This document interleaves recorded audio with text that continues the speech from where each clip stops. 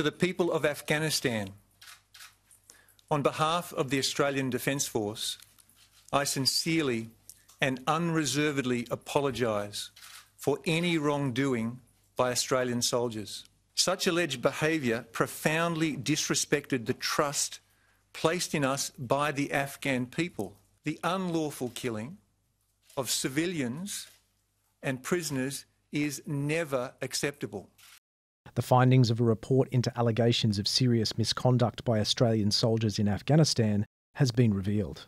He found there to be credible information to substantiate 23 incidents of alleged unlawful killing of 39 people by 25 Australian Special Forces personnel, predominantly from the Special Air Service Regiment.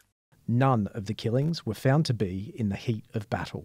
Those alleged to have been unlawfully killed were all people under control, in lay terms, prisoners, farmers, or other civilians. The report also found that new patrol members were encouraged to get their first kill in a process called blooding.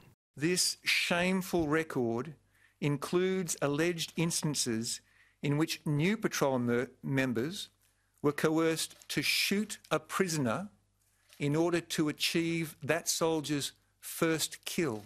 The report follows a four year inquiry that interviewed 423 witnesses and reviewed more than 20,000 documents and 25,000 images. To the people of Australia, I am sincerely sorry for any wrongdoing by members of the Australian Defence Force.